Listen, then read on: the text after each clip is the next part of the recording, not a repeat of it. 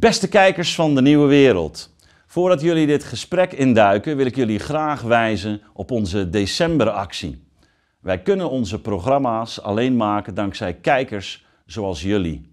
Vorig jaar hadden we bijna 5000 donateurs en daar willen we dit jaar natuurlijk graag overheen. Help ons dus en steun ons door te klikken op de link rechtsboven in beeld of ga naar de beschrijving hieronder. Ik dank jullie bij voorbaat van harte. Welkom bij de Nieuwe Wereld, verdiepende gesprekken in een tijd van verandering. Mijn naam is Jelle van Baardewijk en vandaag is bij mij te gast Daniela Hooghiemstra.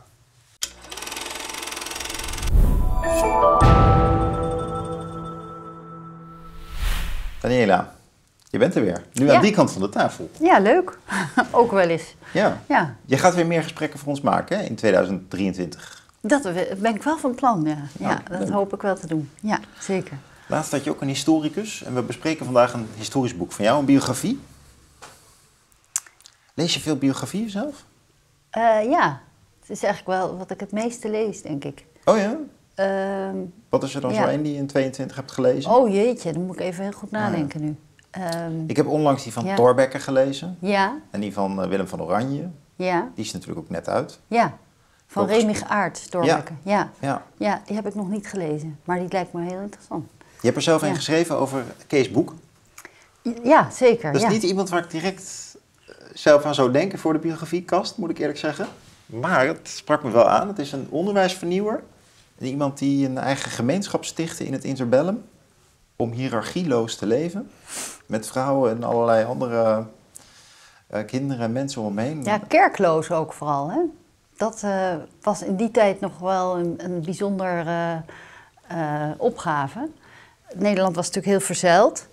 En hij heeft, eh, ehm, ja, wat dat betreft, is hij wel avant la lettre. Dat hij eh, eigenlijk een poging heeft gedaan om nou eens een keer zonder zeil, zonder kerk, zonder eh, vooraf al bedacht programma, zeg maar, toch met elkaar op de een of andere manier een samenleving te beginnen. Ehm, waarbij zijn uitgangspunt, want je, zegt hij was onderwijsvernieuwer, maar hij was eigenlijk wereldverbeteraar, zoals hij begonnen. Hij wilde een andere wereld en dat was vooral een geweldloze wereld. Dat was, dat was eigenlijk hoe hij begon. Ja, je beschrijft heel mooi hoe hij da- daardoor geïnspireerd is geraakt door de Eerste Wereldoorlog. Hè? Dus Ja, in Engeland, waarin het zo diep in de mensen binnenkwam, logischerwijs. Ja, want hij zat in, in Engeland. Hij is namelijk, ehm, hij is daar naartoe gegaan. Hij is natuurkundige, dus hij wilde promoveren in de natuurkunde in, eh, in Londen. Toen heeft hij daar ehm, Betty Cadbury ontmoet. En dat was de een dochter eh, van eh, George Cadbury, de, de grote, sorry, Richard Cadbury, de grote chocoladefabrikant, die met zijn broer een, dus die fabriek had. Dat was een hele rijke familie. Eh, hij is met haar getrouwd en ehm, toen zijn ze met z'n tweeën, want die, die Cadburys, dat waren Quakers. En dat was een apart soort geloofsgenootschap. ehm, dat eigenlijk ook vooruitstrevend was in die zin dat ze dus vonden dat God niet een soort strenge meester was, die vertelde wat iedereen moest doen, maar dat God meer een idee was. Ehm, dat, een, dat ieder mens eigenlijk een persoonlijke relatie met God had. En dat noemden zij dan de inner light. En eh, de bedoeling was dus dat je dat, dat innerlijk licht, ehm, dat dat leidde tot een soort eigen communicatie met God. Eh, of dat was een eigen communicatie met God. En dus dat inspireerde iedereen op zijn eigen manier, zo kun je dat zeggen. Dus dat, dat was in die zin ook al een soort prelude op wat natuurlijk allemaal later, eh, eh, dat individualisme eigenlijk wat later zich allemaal ontwikkeld heeft. Dat zat eigenlijk al heel vroeg in dat kwekergeloof. Nou, en dat, dat was voor Kees Boeken echt een soort van... dat hij dacht, ah ja, dit, dit is eigenlijk het geloof wat ik zoek. Eh, want In hij, het individu. ja, want hij was wel iemand die uit zichzelf heel gelovig was. Of tenminste wel een soort religieuze aanleg, denk ik, had. Eh, ook als veel voorouders van hem waren dominees geweest. Maar hij ergerde zich altijd heel erg aan de, de, ja, zeg maar de dictatuur van die dominees. Eh, en die kwekers waren voor hem een soort. Dat, daardoor kreeg hij het idee: er is toch wel een manier om die religie ook op een andere manier eh, te beleven. En één aspect van die kwekers was ook dat ze pacifisten waren. Uh, en zo kwam hij dus ook een beetje in die pacifistische uh, beweging. En toen, toen brak de Eerste Wereldoorlog uit. En toen was er natuurlijk wel ook wel echt reden om uh, pacifist te zijn. Want die oorlog was natuurlijk verschrikkelijk. En al die, al die jongens die elke dag maar weer in die treinen vertrokken naar het front. En dat, dat kon hij eigenlijk niet meer aanzien. En toen zijn ze een beetje geradicaliseerd eigenlijk in die tijd. Hoe is hij eigenlijk in Engeland terechtgekomen? Want, eh, omdat hij die beelden studeren daar. Dat hij, ja, hij wilde daar eigenlijk... Dat, van die promotie is het nooit gekomen. Hm. Uh, want hij raakte zo helemaal um, eigenlijk gegrepen door dat idee van dat pacifisme. En dat de wereld uh, hm. moest gewoon een heel nieuwe weg inslaan omdat hij dus vond dat die Eerste Wereldoorlog liet zien dat de oude orde uh, gefaald had. En die oude orde, dat, dat staat dan natuurlijk toch wel voor de orde van kerk en koning. Uh, en ja, dat was wat hem betreft was dat voorbij. En hoe oud was hij toen? Toen was hij, uh, ja, goh, even denken. Hij is geboren in 1884, dus hij was toen een jaar of ja, achter in de twintig of zo. Als ik goed reken. Ja. Uh, nou, 30 was hij, ja. Ja. ja. En, uh, maar goed, hij is daar dus nogal in geradicaliseerd. Zover dat hij. Um, ja, bijna. Het, het, deed me soms ook bijna een beetje denken aan Jehovah-getuigenachtig. Dat hij dus echt geloofde dat er een soort koninkrijk gods aanstaande was. Hm. Maar dat dan eerst de mensen. Uh, ja, al hun slechte gewoontes moesten afleren om, om daar toegang toe te krijgen. En ze stonden dus op, op straat te, te, te, met spandoeken uh, tegen de oorlog te, te protesteren. En toen is hij op een gegeven moment opgepakt door de politie in de gevangenis gezet in Engeland. Uh, en uiteindelijk uitgezet naar Nederland. En toen begon dus daar in Nederland, in, in Beeldhoven, want dat kozen ze toen uit als hun nieuwe woonplaats. Begon daar dus een nieuw hoofdstuk. Uh, en uh, ja, dat werd een, een, een poging eigenlijk van hem om een nieuwe wereld te stichten. Dat was vanaf het begin af aan was dat eigenlijk zijn, zijn bedoeling. Een pacifistische wereldorde moest er komen. Hm. Nou, dat paste wel bij Nederland, toch? Wij waren uh, meer toeschouwer dan participant in de Eerste Wereldoorlog. Dus... Ja, um, dus dat paste wel bij Nederland. Wat, wat minder paste bij Nederland, denk ik, was zijn uh, idee van dat doorbreken van dat zuilensysteem. Hm. Um, want dat was op dat moment in Nederland natuurlijk juist heel sterk. Um, en hij wilde. Zo oud, ja, dus. Ja, en hij wilde die kerk niet meer. Hij, hij, hij dacht dus uh, dat, dat, dat de kerk en ook het kapitalisme. Dus hij was ook een groot tegenstander uh, van het kapitalisme. Uh, en van. Um, ja, zijn, zijn idee was eigenlijk. Um, oorlog ontstaat omdat er conflict is over bezit. En uh, als je nou dat bezit afschaft, uh, ja. dan hoef je ook geen oorlog meer te voeren. Nou, dat, Beetje dat, eenvoudig schema, maar... Beetje eenvoudig. En dat heeft hij dus heel ver doorgevoerd. Uh, zo ver dat ze dus het hele kapitaal van Betty hebben weggegeven. Teruggegeven in, aan de arbeiders, waar ze vonden dat het hoorde. Um, en ja, dat, dat, ik denk dat daar is het een beetje misgegaan. Want um, dat idee van die bezitloosheid, uh, dat gaat uiteindelijk nergens naartoe. Want je kunt dan namelijk niks meer hebben. En hij uh, heeft dus op een gegeven moment gezegd, we gebruiken ook geen geld meer. Um, dus we ruilen alleen nog maar dingen. Uh, hij wilde ook geen belasting meer betalen, omdat dat zou naar de defensieuitgaven gaan. Dus hij is hij wilde eigenlijk die theorie die hij had, wat op zich een, een sympathieke theorie was, die wilde hij in de praktijk zo precies uitvoeren. Dat was een dromer. Dat het uiteindelijk tot hele grote praktische problemen heeft geleid. En zelfs tot, tot halve veldslagen letterlijk in zijn eigen achtertuin. Want er kwamen dus mensen uh, van overal vandaan die, die ook allemaal uh, ideeën... en die hadden allemaal weer ruzie met elkaar. En bovendien uh, stond de deur van zijn huis altijd open. Dat was een ander uh, idee. Je moet, de deuren moeten niet dicht zijn. Iedereen moet altijd overal binnen kunnen komen. Nou, er kwamen dus allemaal inbrekers, dat, dat hele huis, alle spullen werden daar weggehaald. Uh, nou ja, de Belastingdienst kwam dus om de, om de bedden te veilen, omdat hij die belastingen niet betaalde. Nou, het heeft er uiteindelijk toe geleid dat hij met zijn gezin in een tentenkamp is gaan wonen. Dat was dus in Beeldhoven. Dat, dat was wel een hele grappige situatie, omdat dat Beeldhoven is natuurlijk een soort villa-dorp. Ja, was dat toen ook al zo? Ja, was toen ook wel zo. Hij had ook een villa. Ehm, ja, want nou ja, hij was natuurlijk eigenlijk, hij was eigenlijk heel rijk, want hij was multimiljonair. ja, eh, dat is wel een paradox. ja. En, ehm, maar goed, dat vermogen was dus toen weggegeven. Toen zijn ze dus met hun inmiddels acht kinderen eh, in tenten gaan wonen. Ehm, en ja, dat was eerst heel mooi en romantisch. eh, en dan schreef hij aan zijn moeder allemaal brieven daarover. Van dit is echt het leven wat wij zoeken. En dit is, we zijn nu helemaal puur. En eh, we halen ons water uit de grond met een pomp. En nou ja, dat, dat was eigenlijk precies zoals hij het zich had voorgesteld. Maar ja, toen kwam de winter, werd het koud. eh, kinderen werden ziek, hij werd ziek. ehm, en het jongste kind werd zo ziek dat het uiteindelijk in het, in het ziekenhuis belandde in Utrecht. En, en op, op, op bijna nog eh, eh, echt kritiek eh, werd. Ehm, en toen is de broer van Betty eh, uit Engeland naar Beeldhoven gekomen. En heeft gezegd van dit is nu klaar. Want eh, jullie zijn te ver gegaan met, met dat idealisme. En ehm, ik ga niet weg hier voordat jullie gewoon met dat gezin in een huis wonen. Dus hij heeft een huis gehuurd en de hele familie is in dat huis gewoon eigenlijk min of meer gestopt.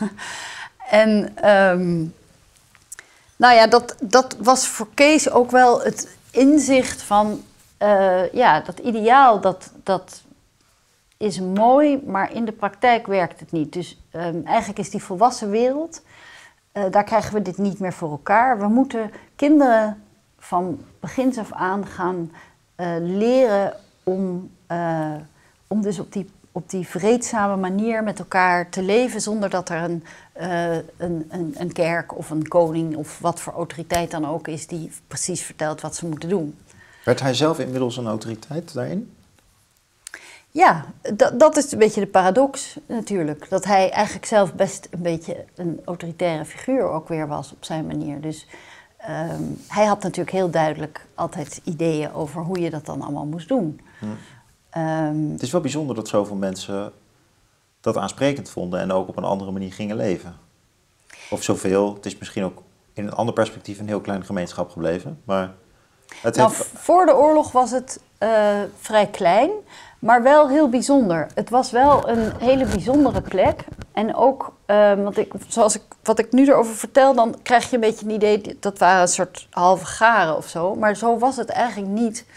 Eh, want intussen was Kees Boeken wel een hele eh, zeer begaafde en intelligente eh, man. Zeer getalenteerd. Een eh, geweldige viool, eh, violist bijvoorbeeld. Hij was een enorme muziekliefhebber.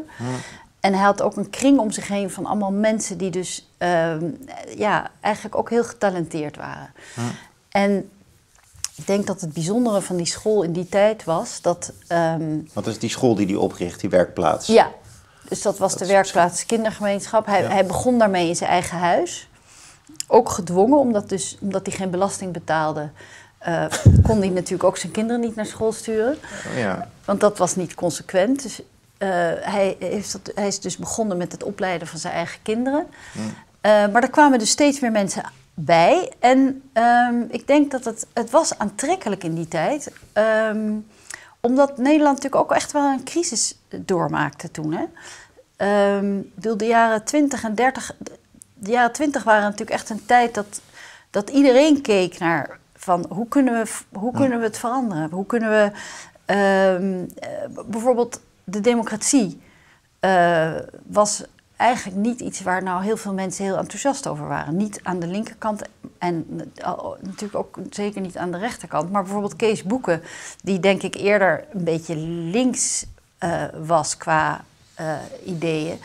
ehm, zag eigenlijk niks in de democratie. Dat, dat was een heel, daar werd heel negatief eigenlijk over gedacht. Ehm, Hij zag wel wat in het socialisme, maar ook weer niet. Dus het leek op het socialisme, meer dan op het kapitalisme. Ja, het socialisme was ook weer te autoritair. Ehm, hij geloofde echt dat je. ehm, Rousseau-esk in je eigen dorp ja, het was heel erg Rousseau-achtig. Ja.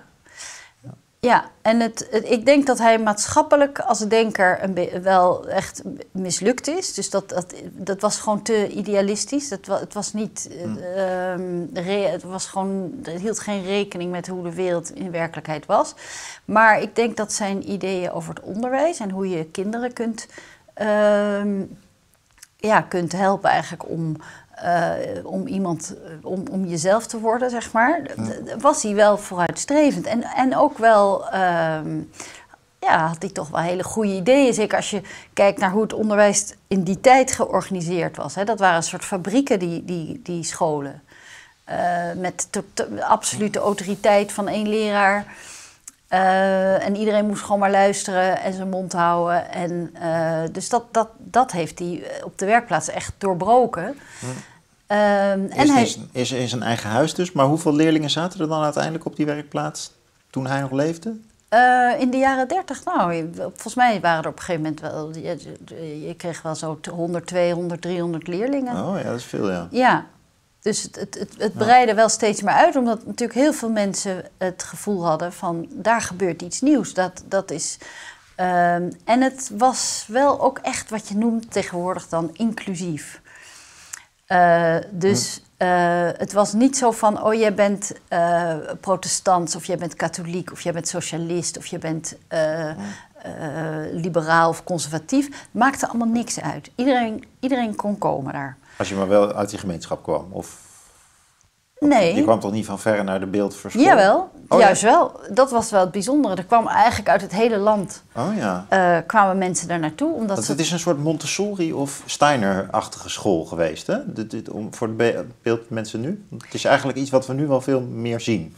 Ja, En op het individu gericht, op de leerling gericht, vrije school, manier van lesgeven. ja, nou Steiner eh, eh, zeker niet. Omdat Steiner was eh, iemand die een, een, een idee, een eigenlijk dogmatisch idee had. Hè? De antroposofie, dat, dat- daar zijn allemaal regels. En dit mag wel en dit mag niet. En dit, je moet, ik weet niet, toch? Bij de. Bij Valt de, wel mee, Daar hoor, weet jij maar- waarschijnlijk ja. meer van dan ik. Nou, Ehm, Nou, maar het zit wel in diezelfde tijdgeest, de, die, die, wat boeken zegt over leerlingen. Dus de traditionele orde eh, waarbij de leer- leraar de maat aangeeft, die wordt doorbroken. De leerling komt centraal te staan en ook dingen leren die niet per se met het hoofd te maken hebben. Bijvoorbeeld eh, handarbeid, eh, ja. Ja, nee, dus in die ding- zin was dingen het... maken met je handen. Ja, en het, zo. het En was wel iets wat... Meer lichamelijk, dat, dat, ze, Ja. dat zie je ook wel bij Steiner en bij Montessori. Ja, ja. Nee, er was in die tijd natuurlijk... eh, je had ook Jan helpen. Lichthart, eh, hoofd, hart en handen. Weet je, dat waren natuurlijk allemaal... eh, hij was wat dat betreft ook niet een soort van hele unieke denker. Want er waren heel veel mensen die allemaal nieuwe ideeën hadden over onderwijs. Ja, hij was een kind Dus- van zijn tijd.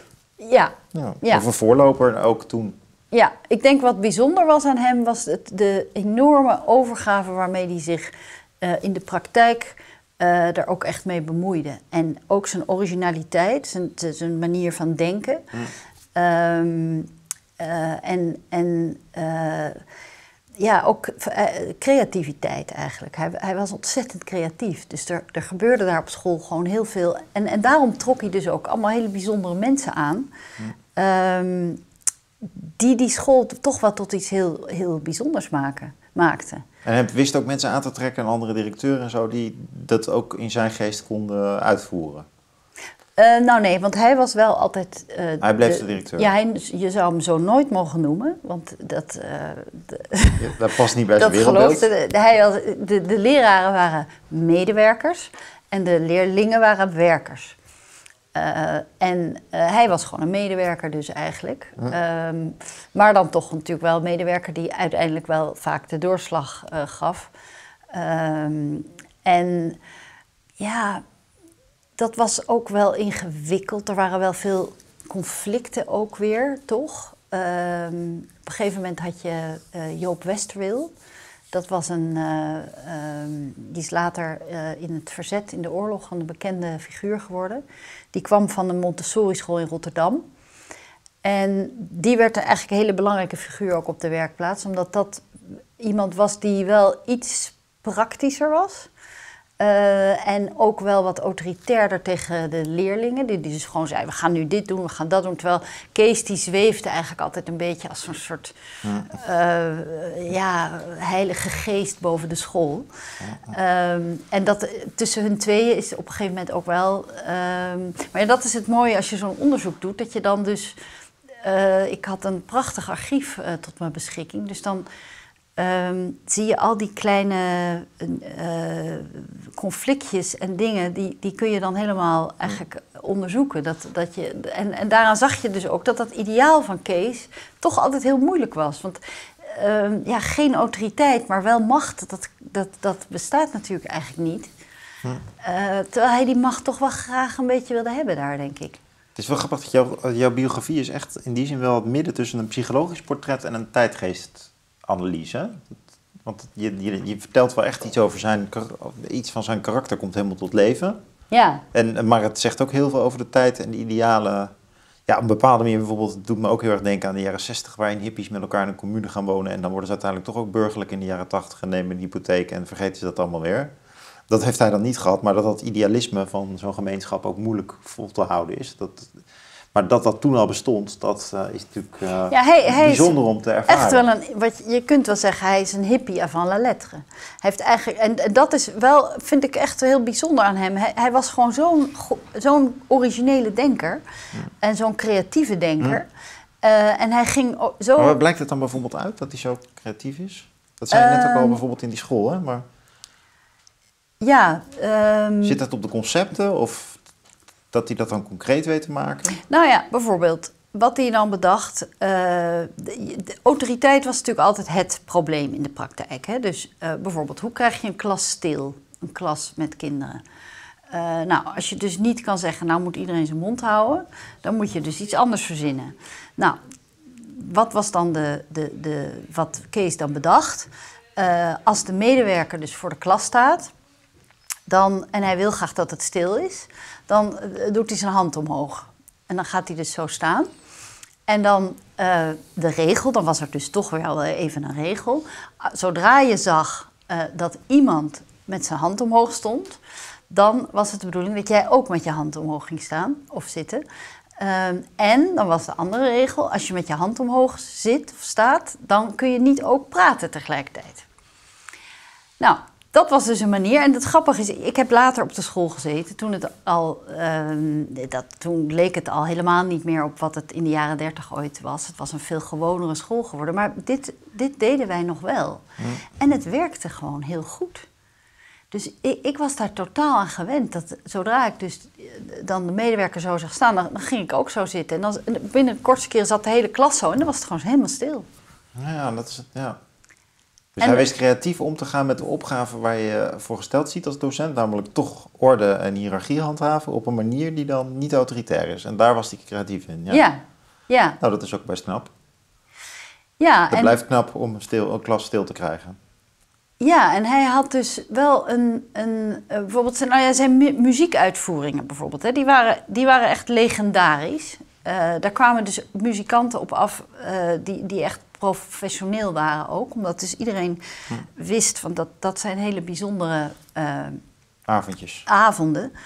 Uh, en dan werd dus gewoon al die kinderen die zaten gewoon in dat orkest. En die zaten daar allemaal samen. En de een was fantastisch, was een supertalent. De ander die, die kon echt net misschien met, met, een, een hand op een gong slaan. Uh, en weer een ander die zong eigenlijk vals.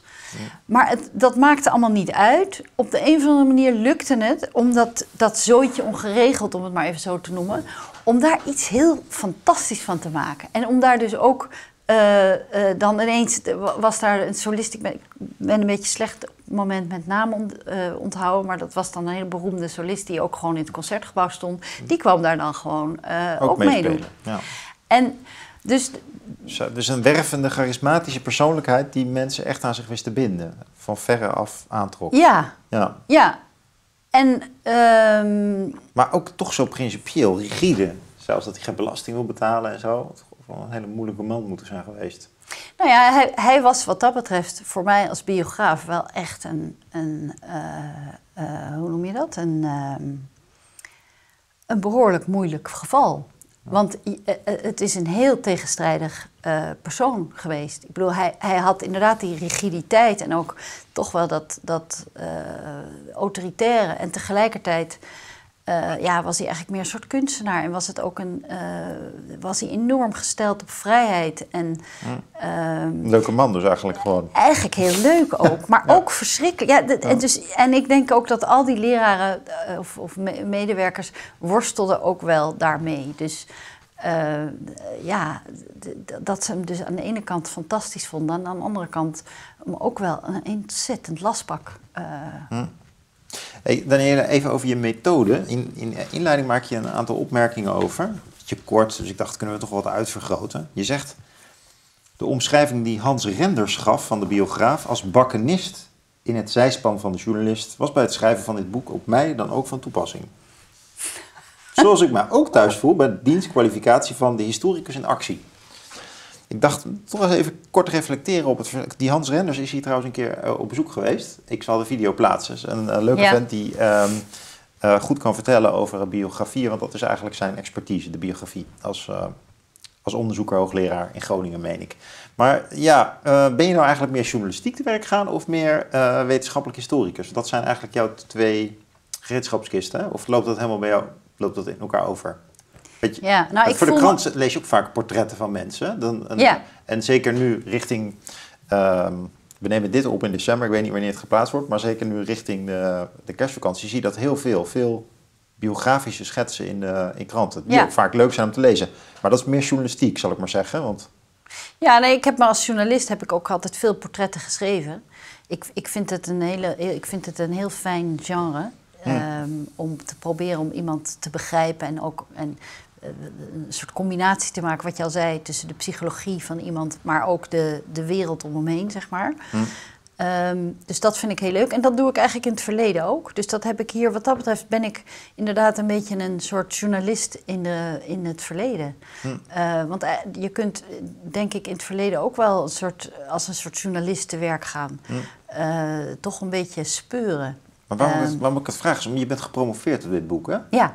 Dat is al een tijdje geleden, het is een herdruk. Mhm. Maar dan, eh, dan verwacht je toch ook meer als eh, eh, wetenschapper dat het een soort van, ja, dat het toch zijn leven echt boekstaaft. Dat, het, dat de feitenbasis vooral heel erg op orde is. en de nou, journalist dat- schrijft toch iets meer op niveau van showigheid. En, Ja, maar dat heb ik hier wel gedaan. Want ik, ik heb, Je doet het ehm, allebei. Ja, ik heb dat wel, eh, omdat dit boek is gebaseerd op een, eh, het archief wat in het ISG eh, ligt. En dat is een enorm archief. Dat is dus het archief van zowel de werkplaats als het persoonlijke archief van Kees Boeken en de familie Cadbury. En ik ben, ik denk, bijna twee jaar bezig geweest om eigenlijk dat hele archief te ontsluiten. Dus ik heb, ik denk niet dat, dat, dat er heel veel nog Hm. is in het leven van Kees Boeken wat niet in dat boek staat. nou nee, ik bedoel, je moet... Nou, dat is mooi, dan- ja. nou nee, het dus de wetenschap, het wetenschappelijke doel is ook gehaald. ja, nou ja, Ja. dat mag je, mag je verwachten als je promoveert. Ja, nou, Ehm, en ik denk ook wel, ik- ja, ik, ik, dat durf ik wel te zeggen dat dat zo is, ja. Ja. Ja, Terug naar Kees. Ehm, was, wa- wa- was die man uiteindelijk tevreden met zijn, eh, met zijn leven, met zijn prestaties? nee. Nee, hij is, hij is eh, eigenlijk, eh, Wat jammer eigenlijk als je zoveel voor elkaar krijgt. ja, dat is ontzettend jammer. Ja. Maar hij is, eh, ja, het is een, een, een ehm, je hebt na de oorlog is, is er eigenlijk weer een nieuwe fase. Het zijn steeds nieuwe fasen eigenlijk. Dus je, ik bedoel, ik legde net al uit, het begint dus in Engeland. Eh, dan krijg je die fase van de, in de jaren dertig, van dat dat schooltje zich langzamerhand ontwikkelt. Eh, de oorlog is ook weer een hele nieuwe fase, ook heel erg interessant. Want in de oorlog zie je eigenlijk dat, eh, dat, dat idee van zonder organisatie toch iets doen met elkaar is eigenlijk in de oorlog heeft zich heel goed bewezen in die zin dat vrijwel alle medewerkers op de werkplaats een rol hadden in het verzet. Eh, de Joodse kinderen eh, allemaal onder valse naam op de school zaten. En iedereen eigenlijk op zijn eigen manier eh, de- allemaal geweldige dingen heeft gedaan. Zonder dat er dus een hele duidelijke structuur was. Waardoor ze vrijwel ongrijpbaar waren. Eh, en dat, dus dat, dat is wel, een, vind ik toch een heel mooi hoofdstuk ook in het boek. Ja. Ehm, maar na de oorlog is er weer een heel nieuw hoofdstuk begonnen toen de prinsessen kwamen. Want Juliana die, eh, eh, had die, die school, ze woonde in Baarn hè, natuurlijk, dus dat was niet zo ver daar vandaan. En die had dus veel gehoord over die school. En het feit dat dus de, de werkplaats goed was in de oorlog, hè, dat heeft, een, eh, heeft Kees Boeken, denk ik, qua status heel erg goed gedaan. In de jaren dertig werd hij toch door de meer, zeg maar, established mensen een beetje gezien, toch een beetje als een gekke, gekke club. Maar na de oorlog eh, was er Ja. natuurlijk een nieuwe verdeling. Het was, was je goed of was je fout? Nou, hij- zij waren goed. Dus. En dat was voor het Koninklijk Huis, eh, heeft dat wel de aandacht getrokken. Want daar waren ze natuurlijk, Wilhelmina was daar erg op gebrand. Ehm, bovendien had de eerste premier van Nederland, eh, of van na de oorlog, Schermerhorn, eh, zijn zoon had op de school gezeten in de oorlog. En zijn zoon was een beetje een moeilijke, eh, moeilijk opvoedbare jongen. En die is toen helemaal opgebloeid op de werkplaats. Dus die had een soort eeuwige dankbaarheid aan Kees, dat hij dat eh, voor elkaar had gekregen. Dus er waren positieve dingen over de werkplaats verteld. En dat leidde er uiteindelijk toe dat de prinsessen, dus Beatrix, eh, Margriet en Irene, gingen alle drie eh, naar de werkplaats. Ehm, Dat was een heel interessant nieuw hoofdstuk. Ja, Ehm, ook het linkje naar de rest van je oeuvre. nou ja, het is natuurlijk heel gek dat dat is gebeurd. Want ik bedoel, Ja. het, het Koninklijk Huis en Kees Boeken, dat waren zo ongeveer de twee meest tegengestelde polen die je kon voorstellen. Ja, maar in je boek er komt ook een soort aristocratisch leven natuurlijk steeds binnen, binnen terug. Dat is een achtergrond, wanneer haar achtergrond van Betty. Ja, ze, maar ze zijn rijk, ze, ze, de, aristocratie leeft natuurlijk ook naar een bepaalde kwaliteit. Met, principes en streefdoelen. Dat, dat hebben ze allemaal. ja, maar die Het is geen jongen van de straat. Nee, hij is niet van de straat. Dat is waar.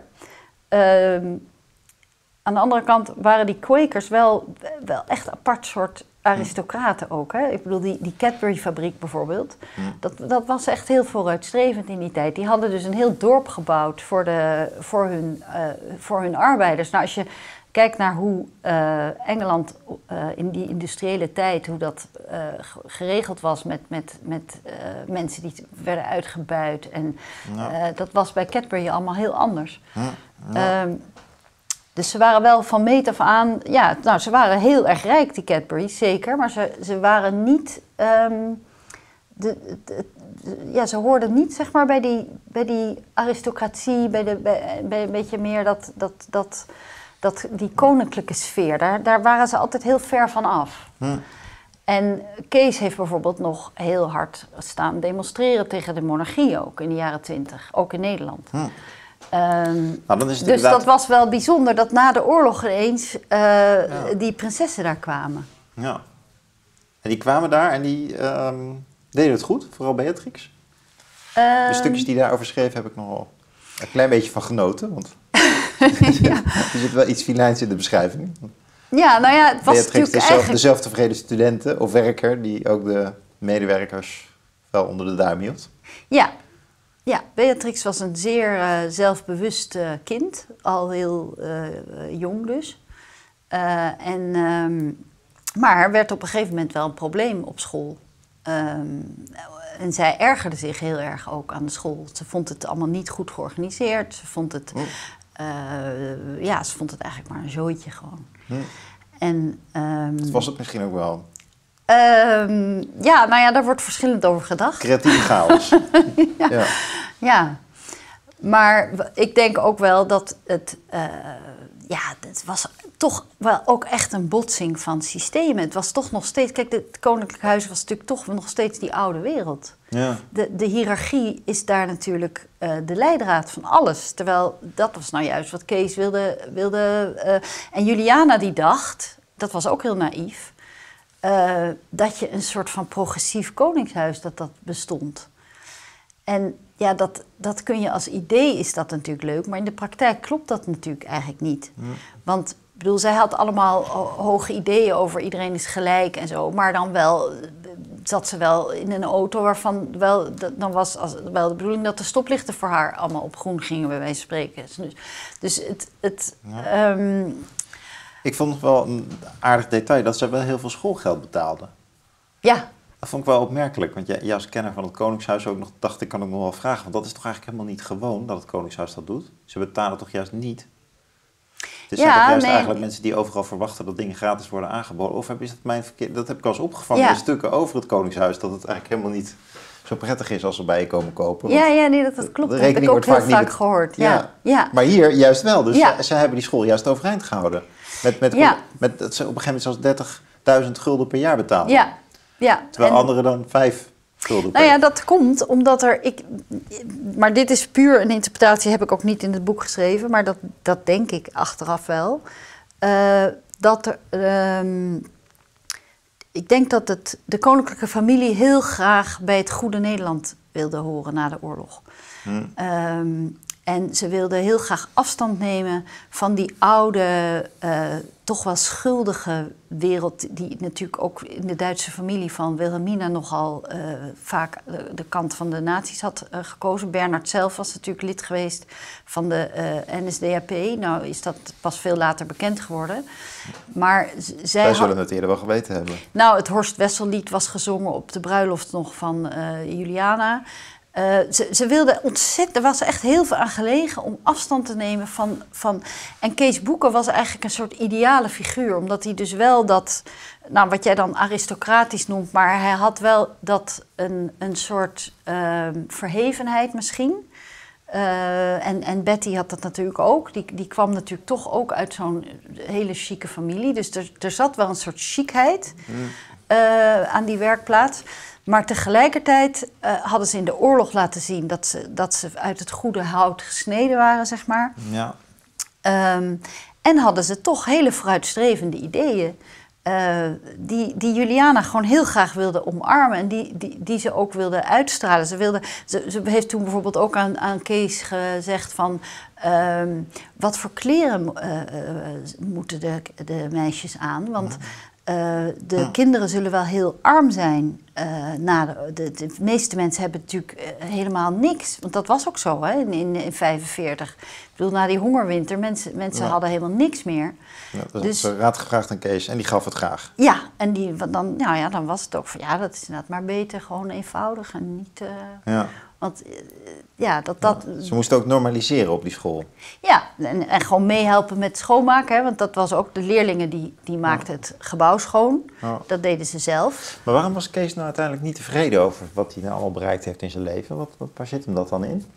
Nou, omdat ehm, dat heeft ook wel met de komst van die prinsessen te maken. Door toen die prinsessen kwamen, ehm, werden de schijnwerpers stonden ineens helemaal op de werkplaats. Hm. En Kees werd eh, eigenlijk door het establishment helemaal omarmd. Hm. Dus eh, de premier van het land die was hem dankbaar omdat hij zijn zoon zo eh, goed door de oorlog had geholpen. Eh, de koningin bracht haar kinderen op de school. Iedereen, de aanmeldingen voor de school die, die, die, die, die gingen stegen de lucht in. Ehm, hij werd overal uitgenodigd, ook door de regering, om over onderwijs te praten, mee Ja. te denken. Want dat Eh, deed hij, hij had het ook wel aan zichzelf te danken dat iedereen die school kende. Want hij vertelde er veel over in den landen. ja, had hij altijd al gedaan. Lezingen geven, ja. Ja. had hij altijd al gedaan. Maar nu ineens was, was zeg maar ook de elite van Nederland, of de bestuurlijke elite, die was ineens heel erg geïnteresseerd Ja, ja, ja, in alles.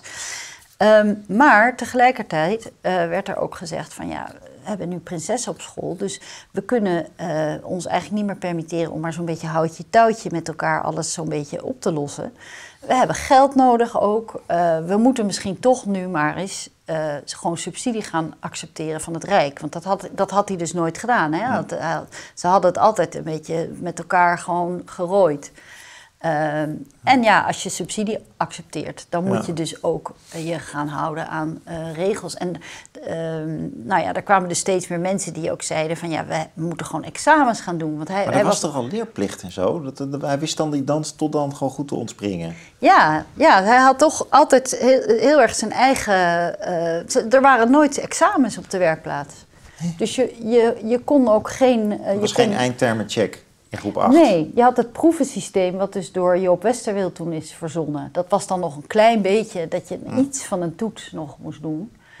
Ehm, maar ja, eh, dus, maar goed, doordat dus die prinsessen kwamen, gingen dus allemaal mensen zich met die school bemoeien. Eh, en is Kees eigenlijk langzamerhand, hij was toen ook al best oud, hij was al in de 70 volgens mij toen. Ehm, hebben eigenlijk al die belangrijke mensen, om het maar even zo te noemen, hebben hem langzamerhand een beetje zo naar de uitgang van die school uh, gedirigeerd. Steeds meer van ja, is goed Kees, ja, is goed. Maar Ja, dan ja. intussen, nou, we gaan dit wel even anders regelen. Want dit, dit, dat, dit kan zo natuurlijk niet. Mm.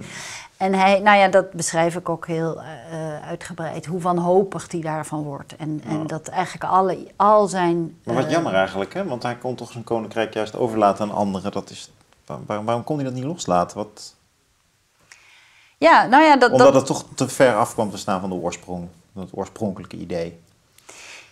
Ja, en, en, en ik denk ook wel, omdat dus zijn oorspronkelijke idee uiteindelijk eh, altijd wel te idealistisch gebleven is. Eh, hoe mooi het was ook en hoeveel mooie dingen het ook heeft, hoeveel mensen het ook heeft geïnspireerd. Want dat, ik denk dat dat de kracht is geweest van de school. Dat er gewoon een enorme inspiratie van uitging en dat er enorme vrijheid was voor mensen om. ehm, om zich te ontplooien en om, om, om ja, met elkaar bijzondere dingen te doen. Dus dat, en dat was zeker in die tijd, in de jaren dertig, was dat, was dat echt een doorbraak. Eh, dus daardoor heeft hij iets heel moois gecreëerd. Tegelijkertijd eh, was het eigenlijk nooit bestand eh, tegen, de, tegen de werkelijkheid. En zeker niet, en dat is een heel belangrijk aspect, eh, tegen de schaalvergroting. Het, de werkplaats is een, is een prachtig systeem als het klein is. Maar ja. Maar eigenlijk vanaf het moment dat het, dat het groot werd, ja, dan, dan, dan moet je dus dingen gaan vastleggen. Eh, en dan moeten er protocollen komen, en dan moeten er regels komen, en dan moeten er examens komen. En dan, eigenlijk moesten al die dingen gebeuren waar hij dus eh, oorspronkelijk juist, eh, wat hij oorspronkelijk juist allemaal overboord had willen gooien. En waar hij juist. Ja. eh, En de korte Montessori metten- scholen en de vrije scholen hebben dit wel kunnen doen. Nou ja, die waren natuurlijk van, van begin af aan altijd zelfs systemen. Hij, hij, het, onderwijs op de werkplaats leek wel heel erg op de Montessori-school. Maar het heeft nooit dat systeem willen eh, omarmen. Omdat Kees dus eh, juist principieel vond dat je niet, geen systeem moest hebben. Hij- zijn overtuiging was, elke keer als zich een probleem aandient of een kwestie... moet je met elkaar gaan zitten en gaan kijken... hoe kunnen we dit nu op dit moment het beste Dat oplossen. was echt een zwever. Ja, vind je? Ja. Ja, het is ook heel goed namelijk. Ja? Ja, het werkte ook heel goed. Hm. Je hebt zelf op zo'n school gezeten, hè? Ja, op deze school. Ja. Ja. En toen werkte het ook nog. Nou, er waren nog steeds aspecten. eh, Is het nou zo dat die, die, de leerlingen van die scholen ook op meer bijzondere plekken in de maatschappij terechtkomen? Dat vind ik wel zo met, met eh, leerlingen die op de vrije school zaten. Dat, dat zijn vaak journalisten of kunstenaars. Of, dat worden geen eh ja, nou, ja, one-of-a-kind typjes. Of kun je dat, Dat zo generaliseren niet. niet. zeggen? ik denk niet dat het je echt opleidt om, eh, om, om in een eh, hele strakke organisatie eh, te werken. Dat, dat, Nee. dat geloof ik niet. Ehm, maar ik ben het wel met je eens hoor, dat, het, dat er dus veel wel zweverigheid was. En en nou ja, dat, dat, dat, dat heeft dus zijn leven ook laten zien dat, het, dat uiteindelijk dit ideaal niet bestand was tegen de, tegen de werkelijkheid. Ehm, maar tegelijkertijd ehm, ja, geloof ik wel dat als je mensen vrijheid geeft, dat ze ook verantwoordelijkheid nemen. En dat, dat is wel een heel eh, mooi iets aan die school, dat je dat ook wel zag. Eh, hoe die kinderen, tot hoeveel dingen ze eigenlijk in staat waren met elkaar. Eh, juist doordat niet de hele tijd iedereen ze vertelde wat ze allemaal moesten doen. Ja, ja, ja, ja. Ik vind het zelf wel eens ingewikkeld aan het hedendaagse onderwijs dat iedereen dit idee inmiddels omarmt. En dat er daardoor eigenlijk nog wel erg weinig aandacht gaat naar eh, cognitieve ontwikkeling. Ja, nou, daar heb je helemaal gelijk. En dat Dus is dat is- Die ontwikkeling heb ik ook doorgemaakt. Eh, omdat ik eh, ben ook veel meer gaan inzien hoe belangrijk het, zeker in het onderwijs, is. want eigenlijk al die ideeën die hij had, die zijn later allemaal uitgevoerd, hè? Ja. Vanaf de jaren zestig. Ja. Eh, is, is, is al, al, die, die, die ideeën over de, de vrije ontplooiing en zo, die zijn allemaal... eh, maar ook geen in- machtsverhoudingen. De leraar die ook maar een soort coach is. Precies, ja. Ja. En, en dat vind ik een, een eh, dat vind ik echt een vergissing. Ehm, dat de autoriteit van de leraar zo is eh, verdwenen. En dan bedoel ik niet zozeer de autoriteit van eh, zo'n soort eh, onbenaderbare dominee-achtige figuur, maar gewoon de kennis van de leraar. Ik bedoel, dat, dat, dat is natuurlijk toch wel heel belangrijk. Ja. En, het, en de paradox van het geheel is dat ik, dat ik juist heb gezien dat in de jaren dertig, toen, toen dus die school het meest was wat, wat Kees wilde dat het werd, eh, was juist de positie van de leraar heel belangrijk. Dat is het grappige Ja, ja. Omdat dat namelijk hele bijzondere figuren allemaal waren. En al die mensen die ik gesproken heb ook, die in die tijd op de school zaten, die herinneren zich allemaal die leraar. Dat was dus de, de, de eh, Hein Herbers, de geschiedenisleraar, Von der Dunk, de, de, de, de tekenleraar. De, dus het waren juist die leraren, die waren eigenlijk de zon van die school. Ja, Ehm, boeiend. Dat is, maakt het dan weer juist wel weer heel actueel. Hey, afrondend nog iets, nog één thema waar je misschien wat over kan vertellen, namelijk zijn vrouw en die acht kinderen. Van hoe heeft hij dat als, hoe deden zij dat als, als gezin? Wat, wat vond zij van, van, van alles? Was, werd zij er gelukkig van? Eh, hoe was zij erbij betrokken? Hij, hij was een man met idealen die niet tegen hiërarchie kon, dus hij zou ook wel behoorlijk geëmancipeerd zijn geweest. Ehm, nou, ehm, ik denk dat zij een veel belangrijkere rol heeft gehad eh, dan je aan de buitenkant zag. Ehm, dus zij speelde een, eh, echt een vrouwenrol. Hm. Dus een beetje altijd op de achtergrond. Maar ik denk dat zij intussen ehm, eigenlijk ook een soort motor was. Het, het grappige is dat heel veel van wat op die werkplaats eh, gebeurde, eh, als je dat vergelijkt met hoe de, de, de Cadbury-fabriek eh, dingen organiseerde voor werknemers. Ze hadden daar een gymzaal, Oh. een zwembad, eh, allerlei. Ze deden voortdurend aan ontwikkeling van de, van de, van de werkers. Hè. Eh, de- dus de- ik, ik zag ontzettend veel overeenkomsten eigenlijk met die Quaker-idealen, die allemaal via Betty ook weer in Beeldhoven terechtkwamen. Ehm, En ehm, wat denk ik het, eh, misschien wel het, probleem wel geweest is, is dat zij, eh, Betty was een heel, eh, ehm, ja, eigenlijk onverstoorbaar persoon, die als ze een ideaal eenmaal had, dan, dan ging ze gewoon door. En daaraan ontleende, denk ik, Kees een heleboel kracht. Eh, die eigenlijk elk idee wat hij verzon, dat werd door Betty op een soort hele conscientieuze manier opgepakt. En eh, ja, zij was een soort stille kracht die, die dat allemaal eh, ook mogelijk maakte. Ja, Ehm, toch de sterke vrouw aan zijn zijde.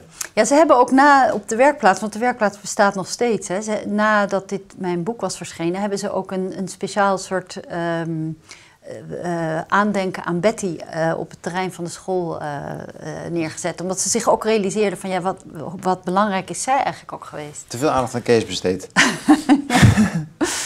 Ja, Het leven en de werkplaats van Kees Boekenmensen. Eh, als het je aanspreekt, als je geïnteresseerd bent in onderwijsgeschiedenis eigenlijk en van biografie houdt, kan ik het zeer aanraden. Ook omdat het lekker fris geschreven is, dus je vliegt er doorheen. En omdat er toch ook een paar saillante lijntjes in zitten naar het Koninklijk Huis. Aan jou wel besteed. dankjewel. Dank dat je er was, eh, Daniela. Ja. Goed dat je het gesprek hebt uitgekeken. Daaruit blijkt wel dat je ervan houdt om verdiepende gesprekken te beluisteren en te bekijken. Overweeg nu ook om lid te worden van ons kanaal op YouTube. En maak even de melding via het belletje, zodat jij ook doorhebt wanneer er een nieuw gesprek is gepubliceerd. Kijk ook rond in de meer dan duizend andere gesprekken die we hebben gevoerd, om te zien wat daar nog bij zit voor jou. En wil je ons echt steunen, steunen om het talkshowlandschap opnieuw te claimen en ruimte te maken voor het verdiepende gesprek? Doe dan een donatie.